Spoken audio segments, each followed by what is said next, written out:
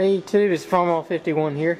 Um, apologize, I got a little sore throat there, so um, I'll, I'll be short. But um, as you can see, I've got the uh, K161 uh, Kohler apart, and I'm getting ready to knock this pulley here off. But I want to take a quick look inside.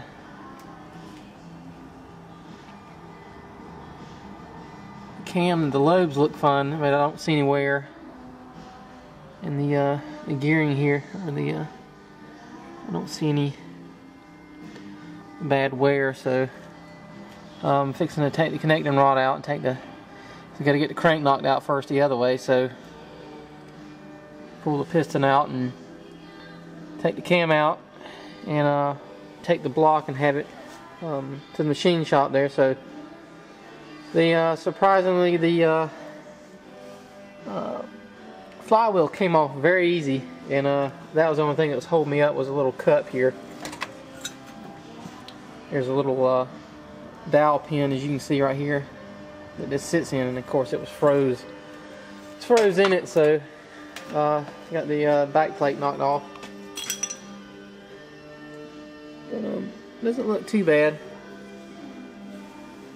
I'm gonna replace all the seals in it so but as um, I'm gonna do it right. I'm not gonna do a halfway job on it. So, but um, that's it. Uh, probably do a little bit of video tomorrow. I'm not sure yet, but uh, as soon as I get the uh, crank and the uh, cam and the uh, piston and all that out. So, and hold on a second.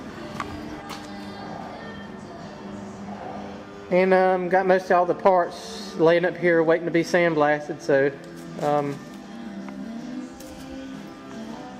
fenders and all that. So I'll be sandblasting next week on this, hopefully, or working on the engine. I don't know yet, whichever. But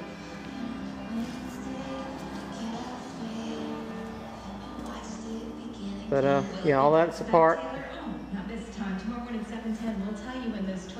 Still haven't got the steering wheel off yet. I'm working on that, but but uh, I'll have uh, more video on uh, the rest of the engine here. So um, as soon as I get all that thing, everything finished and apart and back, and when I get the block back, I'm gonna have it um, cleaned up. They're gonna put it in the vat and clean it out and everything, so it'll be all nice and fresh. And uh, I'm gonna sandblast some of the parts here too on it, but. Uh, that's it for now. I don't know what else to say. So, but uh, all right. Well, I'll talk to you. Uh, talk to you later.